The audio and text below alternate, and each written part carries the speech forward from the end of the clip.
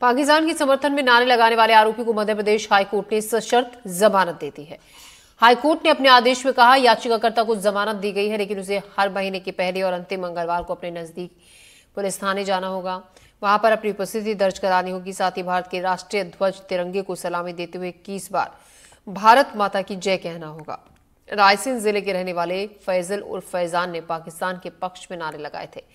इस मामले पर 17 मई 2024 को भोपाल के मिसरौद पुलिस थाने में फैजल के खिलाफ एफआईआर दर्ज की गई थी।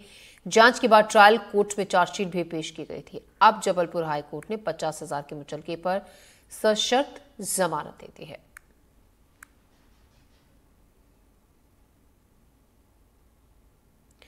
संजीव चौधरी, हमारे संवाददाता हमारे साथ जुड़ रहे हैं। इसी खबर पर ज़्यादा जानकारी के साथ संजीव, अब कोर्ट से तो जमानत मिल गई है लेकिन पहले और चौथे मंगलवार को जो शर्त रखी गई है आ, कि भारत माता की जय बोलना होगा तिरंगे को सलामी देते हुए उसके बारे में आपसे चाहेंगे क्या कहा गया कोर्ट से विस्तार से अपने फैसले में? ये फैजान एक अपराधी प्रवृत्ति का आदमी है इसके ऊपर पहले से ही बारह से अधिक आपराधिक मामले चल रहे हैं और इसने जानबूझ के यह अपराध किया था जिसमें एक जुलूस के दौरान भारत विरोधी नारे लगाए और पाकिस्तान जिंदाबाद के नारे लगाए थे। उसके बाद यह मध्य प्रदेश हाईकोर्ट इस बात पे आया था कि उसने ऐसा कोई कृत्य नहीं किया है और उसके खिलाफ कोई सबूत नहीं है, इसलिए उसे जमानत दे दी जाए। लेकिन मध्य प्रदेश हाईकोर्ट में सरकार की तरफ़ से जो वीडियो पेश किए गए हैं, उसमें वह नारे लगाते हुए दिख रहा था।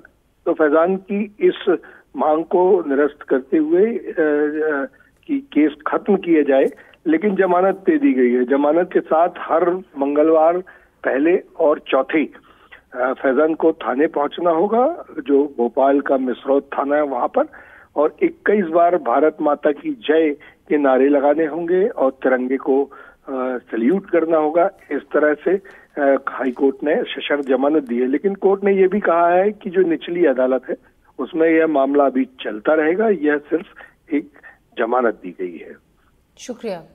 संजीव आपको जानकारी के लिए।